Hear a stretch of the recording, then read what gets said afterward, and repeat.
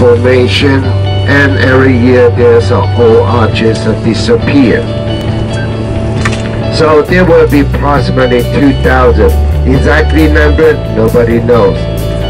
Today we were able to see another place what we call Broken Arch, which is the arch used to be there but today disappeared. so this is very beautiful stunning view. Give you another idea, do not change the setting from yesterday that your camera has been set. Use the same setting as yesterday. So your camera shot in the photo, those rocks will become red and yellow.